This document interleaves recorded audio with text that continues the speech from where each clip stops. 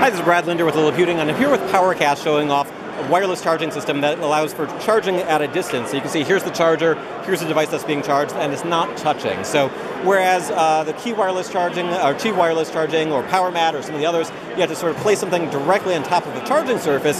So it's not wired, but it's still almost like uh, you know you don't have to line up the plug but other than that, it still needs to be touching. Here, what we're seeing is the ability to charge things like uh, wireless headphones, keyboards, mice, game controllers from a couple of feet away. It actually works all the way up to 80 feet away, but at that point, you're talking about low, low power devices like uh, sensors for uh, temperature and other uh, home automation type systems. Uh, when you're talking for um, a couple feet away, you can do the devices like this. Now, it's not exactly ready for charging something like a smartphone or a laptop or higher power devices.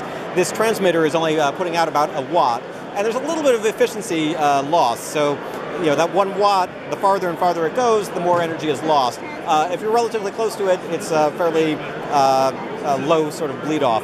But since we're only talking about a one watt charger here, you've probably got night lights that use more uh, power than this. So depending on your electric rates, you're probably looking at leaving this thing running all the time. Uh, it's going to cost you about a dollar a year. So if you've got devices that um, you use on a regular basis and have to charge regularly, a lot of wireless headphones, for instance, might have somewhere between 3 and 20 hours of battery life.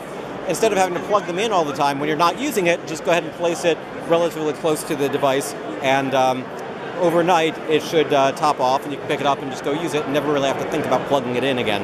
Um, this is a company, as I mentioned, PowerCast, that's been working on this technology for a couple of years, uh, actually for more than 10 years. Uh, previously, they were mostly doing this technology in the industrial space uh, because uh, the consumer market just wasn't really there yet.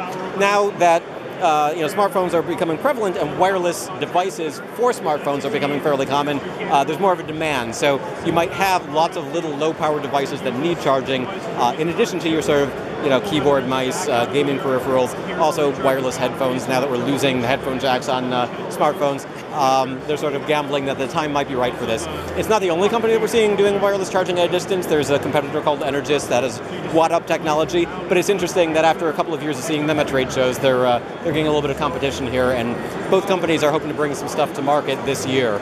Um, is that uh, That's right, yeah. So this is our PowerSpot transmitter, like you mentioned. Um, just had our FCC approval in December last year, and uh, plan is to bring this to market quarter three of this year. Uh, price point for the consumers aimed at $50.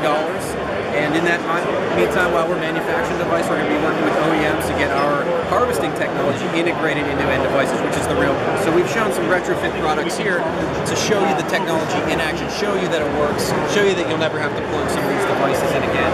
But the real goal is we want to get it integrated, we want to get it into the end products, and that way uh, you'll never have to plug some of these devices in again. So you're talking about headphones, earbuds, keyboards, mice, game controllers, uh, smartwatches, fitness bands, all that stuff that goes around your phone, all that stuff that has its own charger. It's sort of a pain in the butt. You have to plug each one in need to charge. Imagine just putting them all down within a one to three foot range of one of our PowerSpot transmitters and never having to plug those devices in again. So there you go. Coming uh the technology is coming later this year uh, for about $50 for the, uh, the transmitter. The open question is whether there will be a lot of devices that actually work with the transmitter. Yeah, that's TBD, but we yeah. think we're very confident we think that's going to happen. And uh, will people buy the transmitter from you, or will it maybe come with the devices? Through distribution uh, or through partners right now. It's a little unclear. Like I said, in the manufacturing process now, but uh, as we have more information, we'll be sure to let everybody know. So, so again, this is Brad Linder with Liliputing, taking a look at PowerCast wireless charging at a distance technology at the Consumer Electronics Show in early 2018. Should be available in Q3 2018.